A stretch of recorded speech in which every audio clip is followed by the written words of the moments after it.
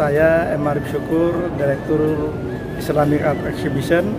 Hari ini saya menampilkan atau memamerkan karya saya berupa kaligrafi sekitar 30-an kaligrafi yang dipamerkan dan ini salah satu contoh karya yang dipamerkan ini karya-karya ini berbeda dari kebanyakan uh, para seniman kaligrafer ini ada sesuatu di dalamnya, ada tekstur di dalamnya yang tidak uh, hampir belum pernah kita lihat polanya seperti ini.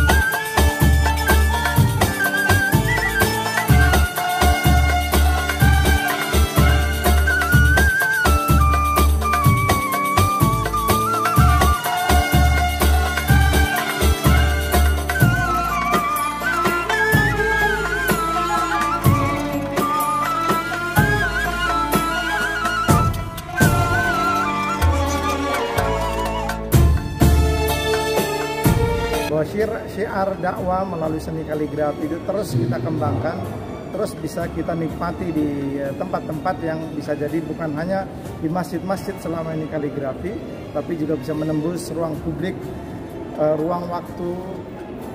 Dan insya Allah dengan cara itu dakwah ini akan terus tumbuh dan berkembang. Dakwah ini menjadi sebuah kesejukan dan insya Allah menghadirkan kedamaian untuk semesta. Jadi